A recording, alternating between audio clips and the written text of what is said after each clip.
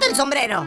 Pero yo nunca me lo quito. Hazlo ahora. Seguro que tus padres quieren que te veas natural. Así es que me veo natural. Enzo, las fotos de hoy son sin sombrero. Mierda. ¡Sonríe! ¡Vamos, niño, sonríe! Si sonríes te regalo Robux.